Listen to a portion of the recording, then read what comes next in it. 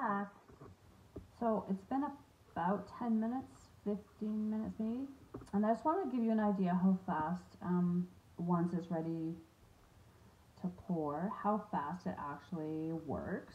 So, oh, lighting is kind of crappy. Maybe that'll help.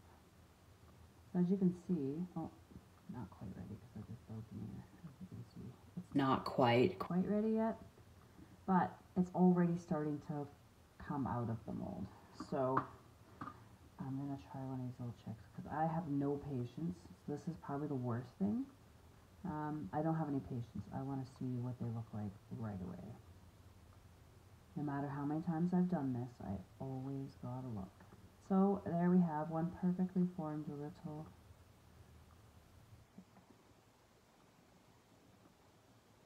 Mm, that looks so good.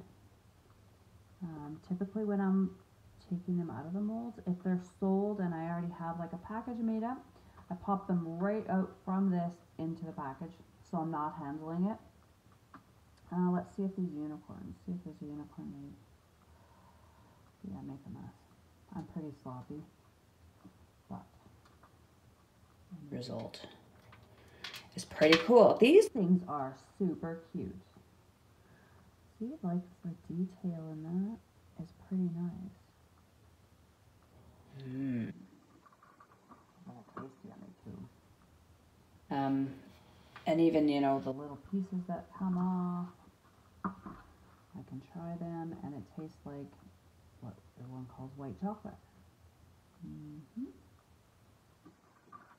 very good. And these here, I I'm am gonna leave because I know they're not done. Um, once again on the back, if you look,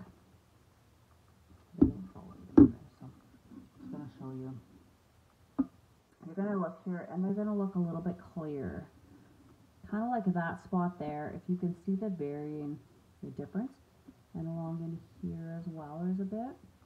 That means that it's separating from the mold. So when the whole thing looks like that, like that, that's when it's going to be ready. Um, I found out the hard way, um, but it's a really good indicator. And then at least you know when you flip it upside down and bang it, you're going to get chocolate that comes out and it's not sticking.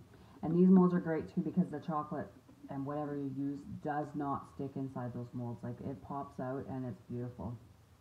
And when this is ready, I'll try to get a video um, so you can see uh, what it's like when it comes out and how pretty they are. So stay tuned.